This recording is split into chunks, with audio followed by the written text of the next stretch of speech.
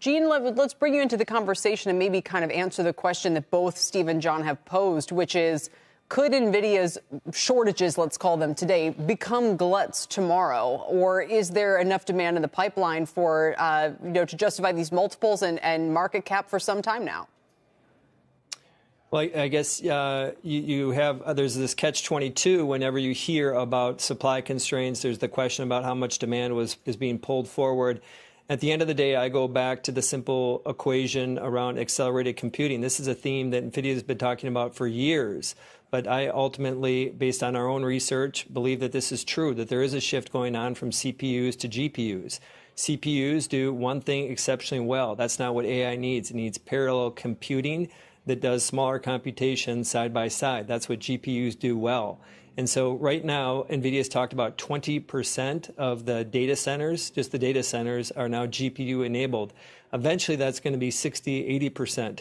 That, uh, um, that doesn't include cloud providers or some of the big uh, other hyperscalers uh, uh, like Azure and uh, Google Cloud and AWS. And so, uh, Kelly, I think the answer is that what we saw is now two quarters of row of exceptional fundamentals.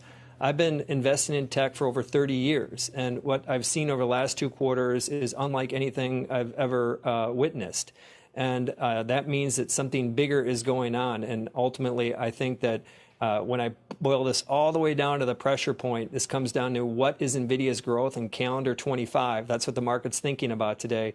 The market's thinking it's going to be 20%. I'll take the over on it, and I think it will be comfortably over that 40% plus growth. So, Gene, is effectively, for all intents and purposes, is NVIDIA the only game in town? And how long, if it is true, what is their moat, and how long can they ha- hang on to that primacy? It is the only game in town. And how long can they hold on to it? One of the reasons why is they also have a, a basically a modeling language that goes along with the chips. This is think about uh, what Apple and Tesla have done so well vertical integrations. This isn't just a chip company, there's effectively a coding language around it. And I think that that is one of the reasons why developers want to develop on NVIDIA GPUs.